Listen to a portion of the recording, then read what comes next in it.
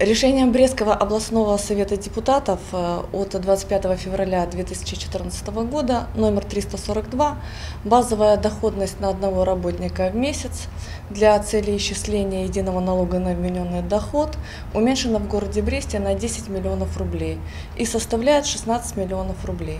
Таким образом, сумма налога на одного работника составляет 800 тысяч рублей в месяц. В налоговой инспекции по Московскому району города Бреста на учете состоит 44 организации, исчисляющие единый налог на вмененный доход.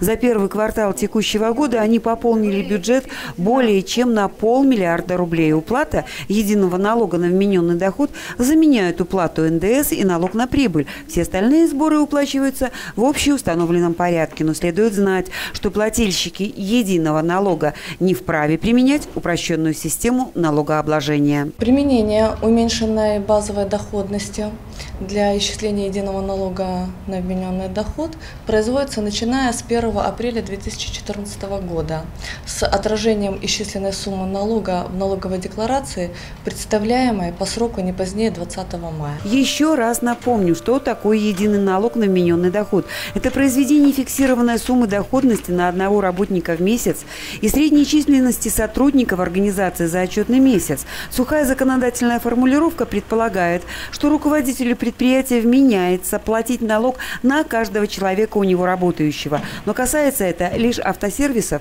то есть тех, кто оказывает услуги по ремонту и обслуживанию автомобилей. В настоящее время сумма вмененного дохода в месяц на одного работника по Брестской области составляет 16 миллионов рублей. Ставка налога равна 5%. Следовательно, за одного работника руководитель должен заплатить 800 тысяч рублей. В случае выявления факта осуществления организации деятельности деятельности услуг автосервиса без уплаты данного налога и предоставления декларации налоговая база увеличивается на коэффициент 10 за месяцы, в течение которых декларация не была предоставлена.